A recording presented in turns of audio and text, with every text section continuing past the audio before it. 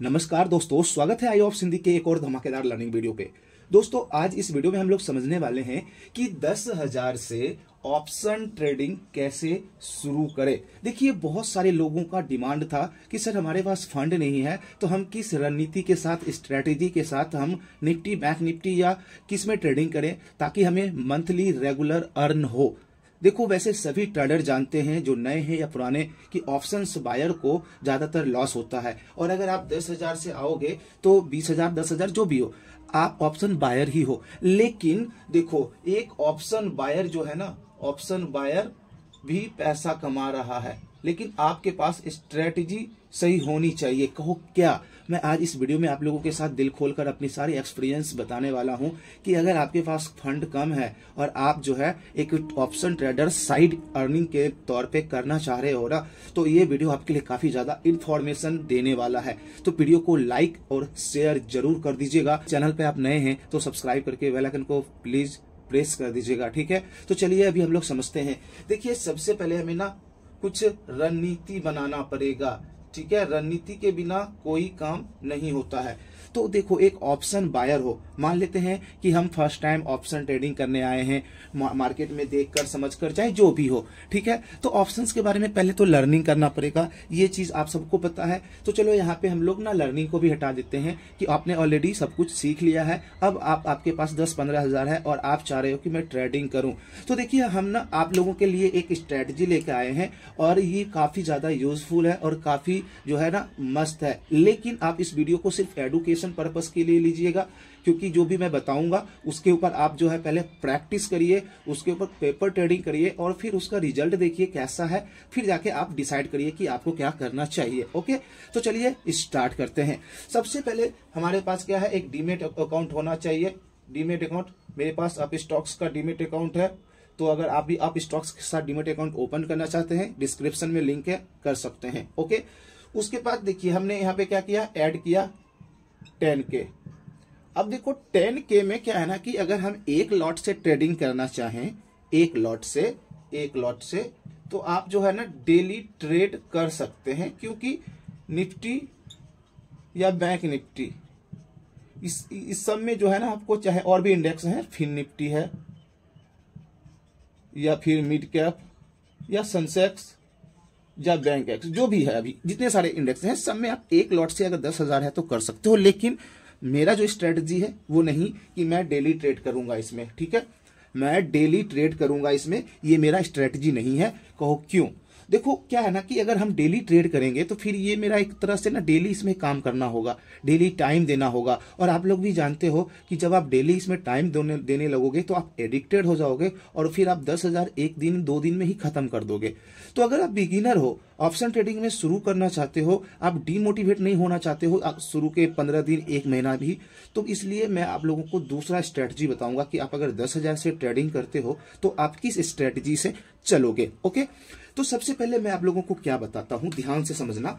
एक होता है एक्सपायरी एक्सपायरी ये आपको जो है एक्सपायरी आपका सभी इंडेक्स का वीकली भी होता है और मंथली भी होता है। तो हम लोग वीकली एक्सपायरी में काम करेंगे। सबसे पहला स्टेप कि एक्सपायरी हमारा वीकली ही रहेगा और मंथ का लास्ट है तो मंथली रहेगा डोंट वरी उसके बाद देखो, क्या है कि हम लोग ना ओनली फॉर एक्सपायरी के दिन ही ट्रेड करेंगे। अब कहोगे, यार एक्सपायरी के दिन ट्रेड ऑलरेडी लॉस में रहता है।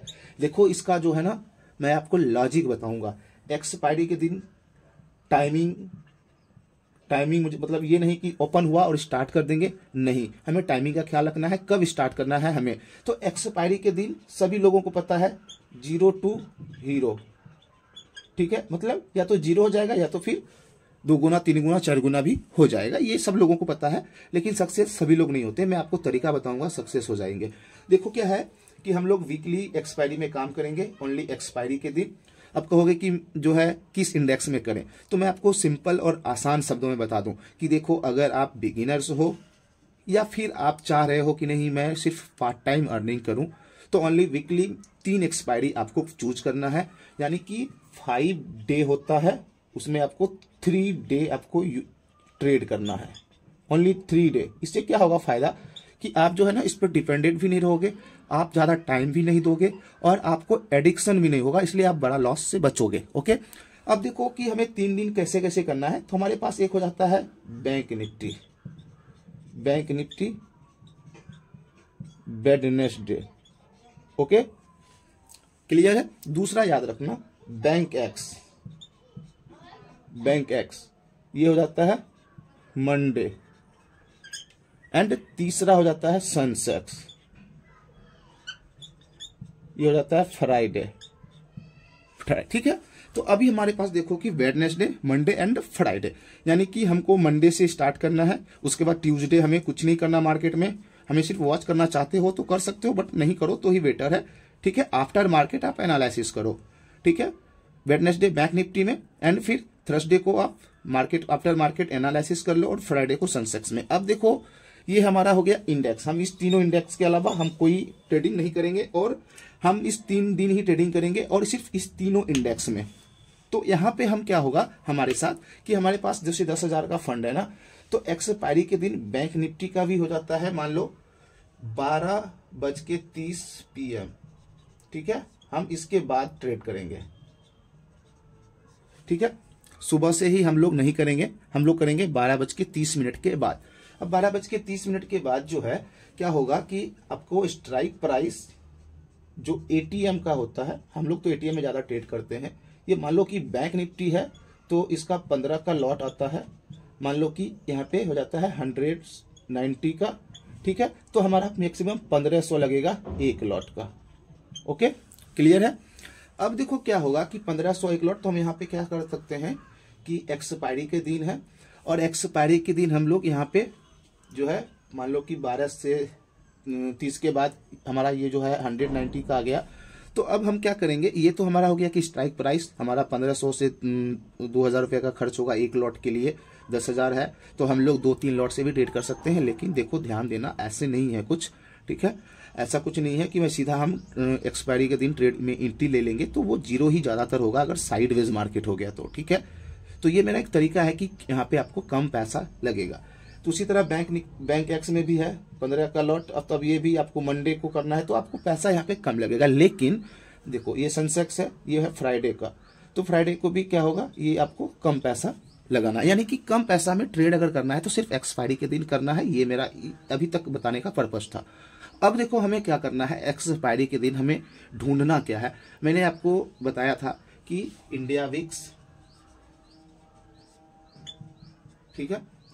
बेगा, आई भी इम्प्लाइड वॉलेटिलिटी ये तीन चीज़ आपको ना पकड़ के रखना है एक्सपायरी के दिन। सुबह मार्निंग मार्केट जब ओपन होगा, उसके बाद अब अगर आज मंडे है बैंक एक्स की एक्सपायरी है तो बैंक एक्स के चार्ट को ओपन कर लेंगे इंडिया विक्स को ट्रैक करेंगे, ठीक है? एंड बेगा को ट्रैक करेंगे एंड आई भी ये ऑप्शन चेन में मिलेगा। अगर आपको बेगा आई भी क्या है, नहीं जाते तो आप हमारा वीडियोस देख सकते हैं। ऑप्शन चेन प्लेलिस्ट में या ऑप्शन ग्रीक प्लेलिस्ट में जाके, ठीक है? तो यहाँ पे हम समझते हैं कि ये तीनों देखेंगे। अब हमें क्या देखना है? हम बे मतलब रैंडम तो एंट्री लेंगे नहीं। हम पहले ये डेटा समझ गए कि हमारे पास कम फंड है, हम चार पाँच लॉट ले सकते हैं और प्रॉफिट को बड़ा कर सकते हैं, ठीक है? तो हम लोग रैंडम ट्रेड नहीं लेंगे। अब हम एक्सपायरी के दिन इन तीनों के ऊपर नज़र रखे हुए हैं कि जो इंडिया विक्स है, वो उसका क्या हाल है? वेगा है, उसका क्या हाल है? और इम्प्लाइंट वॉलिटिलिटी का क्या हाल है?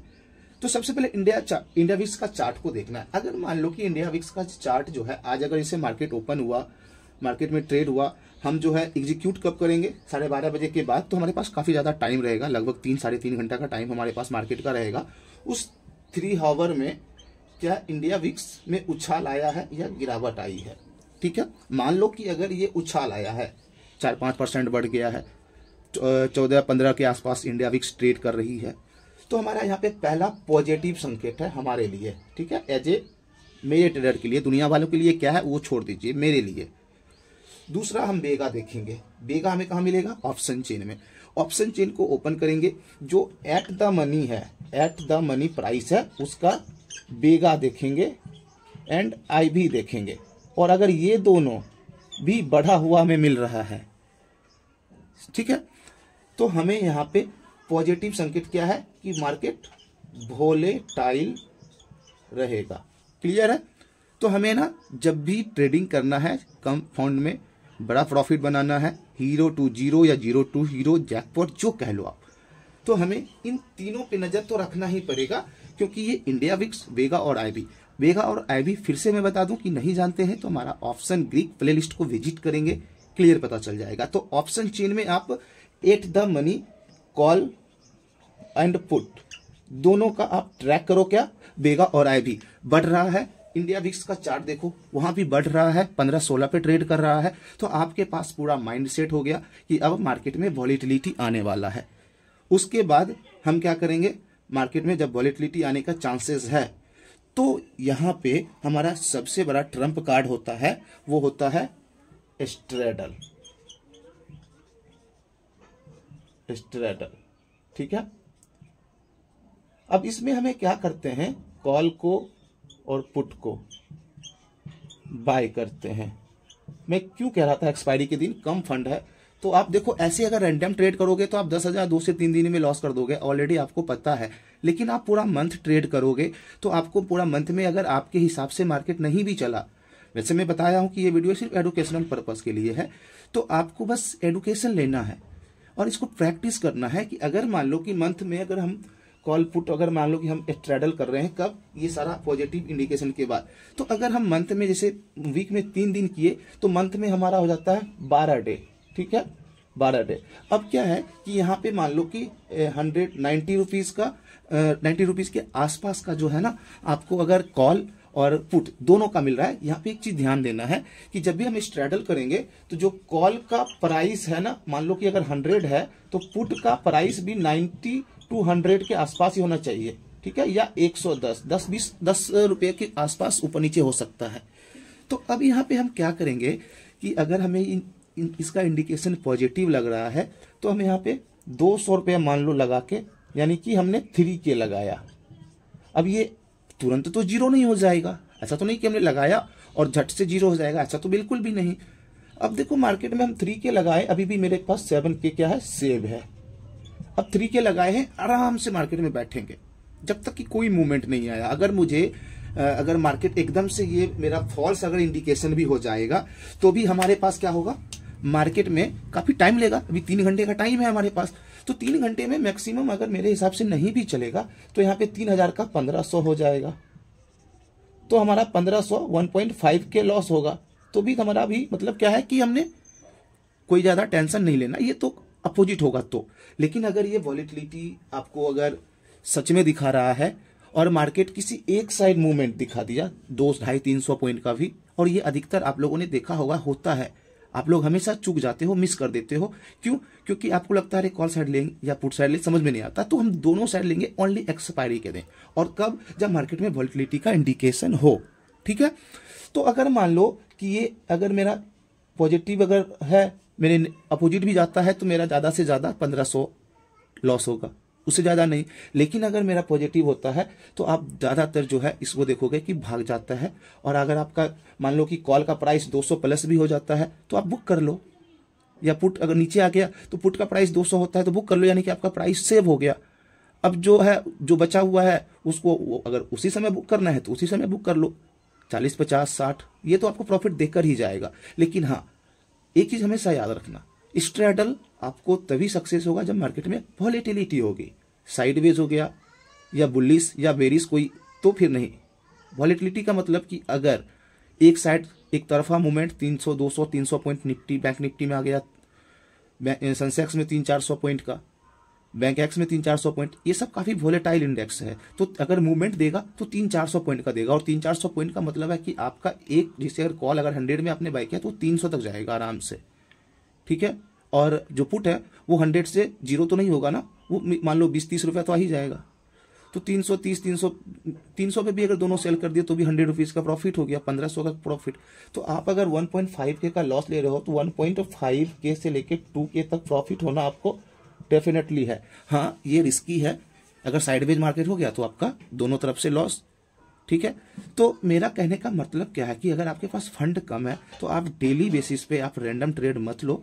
वहाँ पे क्या होता है कि आपका अगर दस रुपये भी नीचे होता है तो डेल्टा ज़्यादा होता है, आपका लॉस हो जाता है। तो आपका टेंशन होता है। मंथ में आप ऐसे ऐसे करके दस हज़ार से ज़्यादा लॉस कर देते हो। लेकिन ओनली अगर एक्सपायरी के दिन बैंक निफ्टी बैंक एक्स और सनसेक्स में ही ट्रेडिंग करो, जब मार्केट में आपको इंडिया विक्स बेगा और आईबी ये क्लियर इंडिकेशन दे दे कि वॉलेटिलिटी अब बढ़ने वाली है। ठीक है? तो वीडियो को लाइक शेयर कर दीजिएगा। अगर समझ में आया या नहीं आया है, कोई भी डाउट हो तो कमेंट कर दीजिए। बाकी टेलीग्राम से जुड़ना चाहते हैं लाइव मार्केट अपडेट के लिए तो डिस्क्रिप्शन में लिंक दिया हुआ है। अभी दीजिए अपने भाई को इजाज़त। थैंक यू जय हिंद।